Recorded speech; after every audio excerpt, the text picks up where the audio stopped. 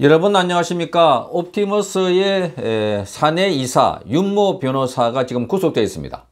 이 윤모 변호사가 구글 지메일 계정에 포함된 내부 자료를 제공하는 등 검찰 수사에 적극적으로 협조하고 있다고 합니다. 윤 변호사는 지난해 10월부터 올 5월까지 청와대 행정관을 지낸 이 변호사의 남편입니다. 자, 이 남편으로서 윤모 변호사는 그동안 옵티머스의 이사로 재직해 왔습니다. 또 이 이모 어, 변호사, 부인인 이모 변호사는 청와대 행정관으로 있으면서 옵티머스의 지분 9.8%를 차명으로 보유하고 있었던 것으로 알려졌습니다. 그동안 어, 이모 변호사는 옵티머스와 연락을 주로 해왔고 뭐 남편이니까 자연스럽게 접촉하지 않겠습니까? 남편이 옵티머스의 이사이고 본인은 청와대 행정관 그러니까 어, 청와대 동향을 남편을 통해서 다 옵티머스에 전달한 것으로 이렇게 추정해 볼 수가 있습니다. 자, 그런데 이 구속되어 있는 윤 변호사가 검찰의 펀드 사기 혐의를 둘러싼 로비 의혹을 부인해 오다가 어, 검찰의 추궁에 일부 진술을 내놓았다고 어, 지금 동아일보가 보도했습니다.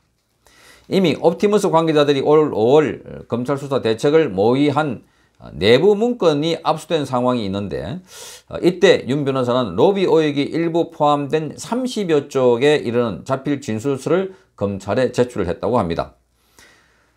자, 윤 변호사는 특히 지메일 계정에 있는 옵티머스 관련 자료를 열람할 수 있도록 수사에 협조한 것으로 알려졌습니다.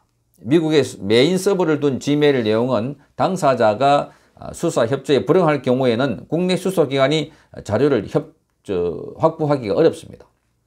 국내 법원에서 압수수색 영장을 발부하더라도 구글 본사가 있는 미국 측에서 형사사법 공조에 응하는 일이 드물기 때문입니다. 자, 검찰 관계자는 구글 측에 영장을 번역해 보내면 가입자 정보나 접속 IP 제공에 협조를 해준다면서 그러나 지메일 안에 송수신된 메일 내용을 제공하는 일은 없다고 보면 된다. 이렇게 전했습니다. 그런데 에, 지금 음, 당사자인 윤 변호사가 직접 본인이 지메일 계정에 포함된 내부 자료를 제공하고 있다는 겁니다. 그러니까 이건 아주 어, 획득하기 힘든 자료들을 지금 어, 내부에 에, 구속되어 있는 사람이 협조를 통해서 정보를 보고 있는 셈이라고 보면 되겠습니다. 주요 공안 사건 수사 과정에서 국내 이메일을 쓰면 안 된다. 수사기관이 추적하지 못하는 지메일이나 야후 메일을 써야 한다는 문서가 나온 적도 있다고 하는데 바로 이런 것 때문에 그러지 않을까 하는 생각이 듭니다.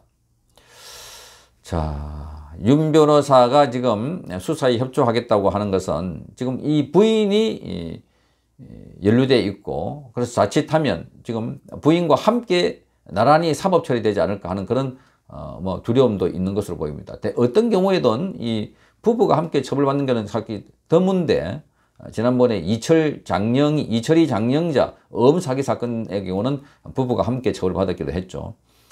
어, 그리고 지금 에, 이 건이 로비로까지 로비로까지 확산되면서 국민적인 관심을 받고 있으니까 지금 이 윤 변호사가 지금 수사에 협조하고 있는 것이 아닌가. 아, 그죠?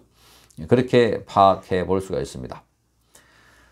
어, 그렇지만은 이 그동안 뭐 추미애 이성윤 어, 이 법무부 장관과 서울지검장이 이, 이 수사에 대해서 아주 소극적이었습니다. 제대로 보, 뭐, 그 수사를 하지 않는 것뿐만 아니라, 어, 이 드러난 의혹에 대해서도 이성윤 검, 지검장은 윤석열 검찰총장에게도 보고도 하지 않았다 하는 것이 많이 들어왔습니다. 뭐 대표적으로 강기정, 강기정 전 청와대 정무수석이 뭐 돈을 받았다 하는 의혹에 대해서도 어, 그건 윤석열 검찰총장이 언론 보고를 통해서 처음 알았다는 겁니다. 그러니까 이게 지금 이렇게 수사에 협조를 하더라도 제대로 수사를 할까 하는 게 지금 핵심입니다.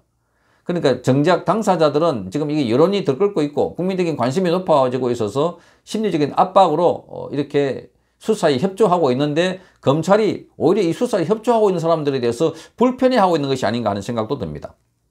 음? 그래서 어 지금 음, 그 검찰에 사람도 동원을 해서 10명을 달라고 윤석열 검찰총장은 수사 인원을 10명을 달라고 했지만 어 추미애는 다섯 명만 배정을 해줬습니다. 이것만 보더라도 여기에 대한 수사 의지가 있을까 하는 생각이 들고 이 옵티머스뿐만 아니라 라임도 마찬가지입니다. 라임도 청와대에 대통령 비서실에 소속돼 있는 김모 행정관이 관련돼 있고 거기에 라임에는 그 비서실의 행정관이 관련돼 있는 것으로서 지금 김봉현 이 전주가 지금 자신이 어뭐 어, 정무수석 그리고 민정수석 어, 그 라인을 타고 있다 이렇게 말했습니다. 라인을 타고 있다. 그러니까 정무수석이라고 하면은 강기정이고 민정수석은 조국이었습니다. 그러니까 자기들 뒷배를 봐주고 온 사람이 조국과 어, 강기정이 아닌가 하는 추론해 볼 수가 있는 것입니다.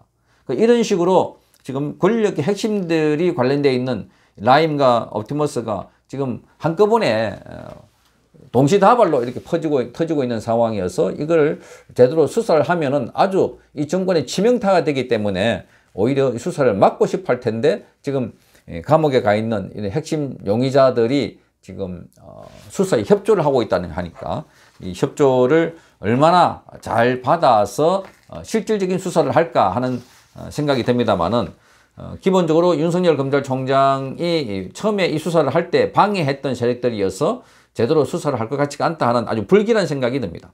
불길한 생각이.